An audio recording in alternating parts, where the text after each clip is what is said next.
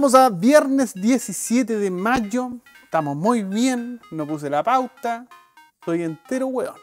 Una semana más con muchas novedades, sobre todo de información relacionada ya como a, industria pura y dura.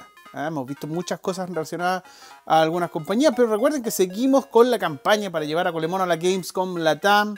Escaneen el código que está abajo a su derecha de la pantalla, ponga lo que pueda, desde mil pesos pueden participar por grandes premios que vamos a estar sorteando en el mes de junio, así que tenemos de todo.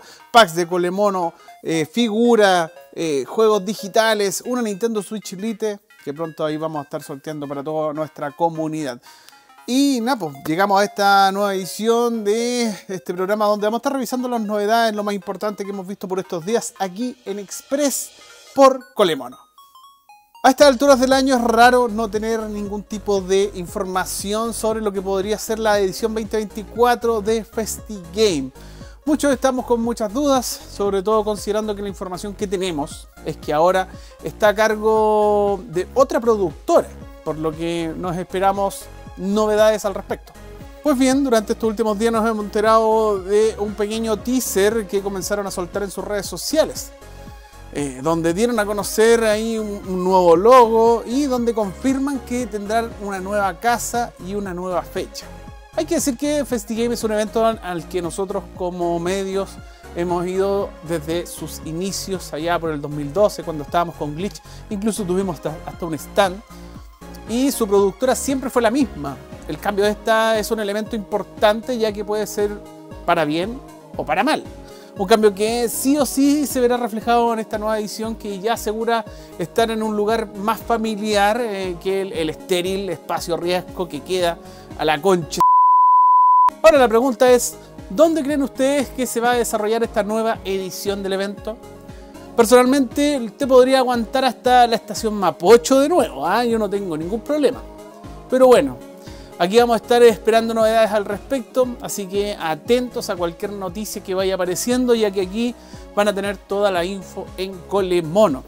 Fuera de cualquier cosa, que llegue a aparecer, solo esperemos que en esta oportunidad traten de darle más valor a lo que originalmente hizo grande este evento, que son los videojuegos. Eso es lo que importa, los videojuegos. ¿Cómo no van a, tener una mente creativa que sepa hacer un gran y buen show en torno a los videojuegos sin tener que recurrir a lo mismo de siempre, bueno? Pero bueno, y que se traigan a Kojima. En un reporte que se han sacado desde la gente de Windows Central, el cual ha resonado en varios medios de comunicación, ha aparecido información que muchos ya veíamos que podría llegar a ocurrir en el entorno que se está viendo en Microsoft y particularmente en la división de Xbox. Pues parece que hay muchos problemas internos eh, que está generando la división dentro de esta compañía. Esto en relación al tema de ver la posibilidad de lanzar sus juegos en otras plataformas es que dentro del reporte se comenta sobre la operación Latitude, un plan que busca llevar varios títulos eh, a otros sistemas y del cual títulos como Hi-Fi Rush, Grounded, Pentiment y Sea of Thieves ya son parte. El tema es que al parecer hay planes para expandir aún más este plan, lo que ha llevado a generar un debate interno entre Microsoft y su división de Xbox, cuestionando estas decisiones para ver qué tan beneficiosas podrían llegar a ser a largo plazo, porque hoy por hoy la compañía se encuentra, digámoslo, perdida. El gusto por el dinero es algo que siempre ha estado, eso se sabe porque es una compañía, una empresa, pero hace poco más de 10 años había intenciones de hacer las cosas de manera distinta. Digamos, hacer las cosas bien. Algo que hoy no se ve reflejado en las diferentes decisiones que han tomado y que han perjudicado a muchas divisiones a lo largo de los últimos años. Así como franquicias como Halo, Forza o la misma serie de Gears of War podrían llegar a sistemas como PlayStation 5, algo que seguramente haría que los jugadores vayan eh, y paguen por estos títulos, lo que podría generar ganancias históricas para las propias franquicias, como también para Microsoft. Pero las consecuencias podrían ser aún más desastrosas a mediano y largo plazo, ya que se perdería parte del interés para querer hacerse de una consola de Xbox, por ejemplo. En relación a eso es que las cosas también están mal. Las ventas actuales de Xbox Series no están por los números que la compañía esperaba. La venta de hardware con las consolas ha disminuido en un 30% año tras año, lo que ha reducido el número de copias de juegos o suscripciones de Game Pass eh, vendidas. Si a todo esto le sumamos los despidos que hemos visto por parte de la compañía a comienzos de este año y el cierre de estudios hace unos días atrás, Xbox se encuentra en una de las posiciones más complicadas de su historia. Ahora sí, la compañía tiene que buscar salidas a estos problemas. Así es como por medio del, de, de Wall Street Journal nos enteramos que la compañía busca que la próxima entrega de Call of Duty, que es la que se viene rumoreando hace un tiempo atrás, sería el primer juego de la franquicia en ser parte del servicio de Game Pass. Uno de los grandes temores dentro de la división y que también ha generado debate interno. Esto debido a que incluir la popular franquicia en el servicio podría dañar eh, el tema de las ventas. Un temor muy genuino, la verdad. Más eh, si consideramos que Call of Duty es una de las franquicias que más vende en la industria y hacerlo gratis, entre comillas, digámoslo, eh, para Game Pass podría hacer que las ganancias se reduzcan considerablemente. ¿Qué les parece a ustedes? Está recuático el ambiente dentro de Microsoft. Las decisiones que la compañía tome a partir de este punto serán cruciales para el futuro de la división de Xbox, ya que se abren las probabilidades para que a futuro terminemos viendo a Microsoft como una tier party más en el mercado. Espero sus comentarios. Hace varios días se lo estuvimos comunicando, Ubisoft estaba preparando el anuncio oficial para la nueva entrega de la popular franquicia de asesinos, esta vez junto al título de Assassin's Creed Shadows, el juego que está ambientado en el Japón feudal, que está muy de moda últimamente, y que llegará este año a diferentes plataformas. En esta oportunidad nos adentramos a la historia de Naoe, una experta asesina shinobi de la provincia de Iga, y también conoceremos a Yasuke, el reconocido afro samurai que existe en las leyendas eh, históricas. Todo esto en medio del periodo Sengoku, donde estos dos personajes descubrirán su destino en los comienzos de la nueva era de Japón. Es así como en esta oportunidad eh, podremos acceder al juego como un shinobi o un samurai, los cuales darán a los jugadores dos estilos de juegos completamente diferentes y entregando la variedad para esta aventura que llega en un Japón feudal de mundo abierto, donde además tendremos una interesante mecánica relacionada al cambio de estaciones e impredecible cambio de clima entre medio, la cual le dará más inmersión a la aventura que viviremos en esta oportunidad. ¿Qué tal? Assassin's Creed Shadows eh, llegará al mercado el 15 de noviembre y lo hará en las plataformas de PlayStation 5, Xbox Series y PC. Siguiendo con los reportes de información, mucha info así masticada. Desde hace varios meses que la gente de Square Enix se viene pegando la cachá, como decimos acá en Chile.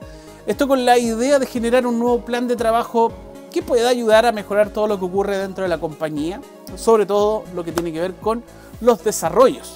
Es que Square Enix ha tenido una pésima gestión en los últimos años, compañías occidentales que no la han cumplido, junto a lanzamientos que han sido fracasos, siendo lo último y seguramente lo más grave, las tremendas pérdidas que reportaron hace unos días y que superan los 131 millones de dólares. Todo esto por culpa de la cancelación de varios proyectos que estaban en desarrollo y que nunca fueron anunciados. De esta manera es como por estos días anunciaron el Reboot and Awakens, un plan de negocios que presenta varios puntos en los que la compañía comenzará a trabajar para poder levantar las caídas que han sufrido en el último tiempo. Aquí es donde aparecen cuatro pilares que sostienen este plan de negocios, donde dos de ellos están enfocados en tener una estrategia multiplataforma para llegar a más clientes y el otro prima la calidad de los juegos por sobre la cantidad. En relación al primer punto y donde Square Enix busca como objetivo el tener una una fuerte estrategia multiplataforma, ahora buscará desarrollar en las plataformas de Nintendo, Xbox, PlayStation y PC, sobre todo con títulos de orden AAA, esto con la idea de generar un entorno en donde más clientes puedan disfrutar de nuevos proyectos. La compañía, junto al plan de negocios con enfoque en multiplataforma, no solo se aplicará con los nuevos juegos que buscan desarrollar, sino que también con los que ya se encuentran disponibles en el mercado. Así que no sería nada raro ver estos juegos en otras plataformas en donde no se encuentren disponibles. Así como también aprovecharon de dar a conocer que no han tenido muy buenos réditos en los últimos lanzamientos. Las ventas de Final Fantasy XVI y Final Fantasy VII Rebirth han tenido muy bajos resultados. Esto es algo que se ha logrado ver en las ventas que ha tenido este último juego en Japón, donde, si bien logró destacar en su salida con más de 260.000 unidades en su primera semana, estuvo muy por debajo de lo que fue el lanzamiento de Final Fantasy VII Remake, que tuvo casi 800.000 en sus primeros días. ¿Qué les parece? Y era hora que la compañía nipona se pusiera las pilas, sobre todo con el tema de los juegos multiplataforma. No hacía ningún sentido que tuvieran grandes proyectos AAA en una pura plataforma que si bien tiene una gran base de usuarios, parece que la gente no estaría ahí con este tipo de juegos, perdiendo la oportunidad de dar a conocer estas franquicias en otros sistemas. Aunque es evidente que esto iba a traer cola y ya se anunciaron despidos en diferentes áreas de la compañía a nivel occidental, nada que hacer, era esperable que ocurriera. Son varias las compañías que han dado a conocer de mm, sus resultados financieros por estos días. Take Two es la que ahora llega con sus novedades, las cuales involucran el desarrollo y lanzamiento de lo que se viene junto al título de Grand Theft Auto 6 y algo más. Es que la compañía aprovechó de demostrar eh, su confianza junto a la ventana de lanzamiento que tendrá el esperado título, asegurando que este llegará durante lo que será nuestra primavera del 2025. Algo que deja en evidencia varias cosas siendo una de ellas la tremenda seguridad que tiene la compañía con este desarrollo y confirmando que tienen asegurados años de platita chica. Asimismo es que confirmaron que dentro de lo que se viene con el Summer Game Fest 2024, la compañía junto a su estudio de 2K Games van a presentar una nueva entrega de una de sus IPs más queridas. Aquí es donde podríamos comenzar a especular o eh, tirar rumores por montones pero ya se habla de nombres como Bioshock, Mafia o XCOM, entre muchos otros. ¿Cuál creen ustedes que va a ser este título? En fin, junto al reporte es que apareció Strauss Zelnick, el director ejecutivo detrás de Take-Two, quien ha prometido a sus inversionistas un nivel de ganancias y crecimiento de no creer, que promete llevar durante los años 25, 26 y 27 por las nubes, algo que pueden lograr junto al lanzamiento de la entrega de GTA. Igual, sinceramente, ojalá la gente de Rockstar pueda cumplir todas las expectativas que hay de por medio. Repetir el ciclo en el que ha incurrido la quinta entrega es, pero muy difícil. Estamos hablando de una entrega que se ha lanzado en tres generaciones distintas de consola, ha superado los 200 millones de unidades vendidas desde su lanzamiento en 2013, algo que se le sumó con los años la popularidad de GTA Online, que ha sido el motor que ha ayudado a mantener vigente este juego. ¿Qué dicen ustedes? ¿Creen que GTA 6 pueda cumplir con todo lo que promete? Espero sus comentarios. Un montón de novedades han aparecido últimamente por parte de Sony, partiendo por uno de los temas que más ha hecho ruido durante el último tiempo, y es que desde la partida de Jim Ryan como director ejecutivo de PlayStation, la compañía tenía que buscar al futuro líder. Al final se dieron más licencias y en vez de proponer uno, finalmente tenemos a dos personas que serán cargo de la división. Herman Hulst, así le digo yo, Herman Hulst y Hideaki Nishino, son quienes sucederán al viejo rancio que se fue, quienes tomarán sus cargos a partir del 1 de junio próximo y quienes comenzarán a reportar al actual director de operaciones de Sony, Hiroki Totoki, que es el que estuvo de presidente así como de manera temporal durante los últimos meses. Por su parte, Hideki Nishino tendrá la labor de llevar la Platform Business Group, mientras que Hulst estará a cargo del estudio Business Group. Ambos llevan años en la compañía, Nichino trabaja del 2006 en Sony, mientras que Hultz partió siendo parte de la gente de Guerrilla Games, para que en 2019 tomara el liderazgo de PlayStation Studios. Pero fuera del liderazgo de esta división de Sony también nos encontramos con novedades en sus ventas de su plataforma actual junto a los resultados del último trimestre del año fiscal. Así como se ha informado que al 31 de marzo del 2024, PlayStation 5 ha logrado superar los 59 millones de unidades vendidas alrededor del mundo. Pero no todo es hardware, ya que también han dado un espaldarazo a los chicos de Arrowhead Game Studios. Esto al dar a conocer la venta de su más reciente lanzamiento, Helldivers 2, título que desde su lanzamiento en el mes de febrero hasta el 5 de mayo sumó la cantidad de 12 millones de unidades vendidas entre PlayStation 5 y PC. Todo un récord que tiene a todos contentos dentro del pequeño estudio. Y vuelve acá por los chicos de Arrowhead, sobre todo después de lo que ocurrió con el juego hace una semana, así que los tenían la caca por culpa de las malas decisiones que había tomado Sony. Aparte que ayudaron a aumentar las acciones de la compañía en los últimos días, weón. ¿Qué mejor? A estos locos les van a tener que dar el tremendo bono, ¿sí o no? ¿En qué estará trabajando Toys for Bob? Esa es como la duda que ha salido durante los últimos días. Esto luego que los chicos de Toys for Bob, compañía que hace varias semanas atrás se volvió independiente, actualizó su página web oficial con una simple imagen, la cual estoy poniendo ahora en pantalla. Se trata de una máscara con tonalidades violetas, la cual ha dado que hablar un montón durante estos días sí ha generado varios rumores. Es que es obvio que están preparándose para presentar lo que será su nuevo proyecto, uno que muchos ya creen que podría tratarse de una nueva entrega de Crash Bandicoot. Por todo el tema de la máscara, que puede ser un guiño a Aku qué sé yo. Mientras que otros creen que podría ir por una nueva entrega de Spyro, por el color que incluye. Aunque en realidad lo del color puede tratarse de, la compañía que usa el color morado en su logo. La web no tiene ningún otro link disponible ni nada que nos pudiese dar otra pista. Es probable que estemos armándonos una cantidad de expectativas ridículas si se trate de cualquier otra cosa, pero ustedes saben que igual es rico y entretenido hacer este tipo de weas así como creer, creer cosas que quizás nunca se van a dar, pero imagínense, puede hacer hasta un Banjo Kazooie. ¿Quién sabe?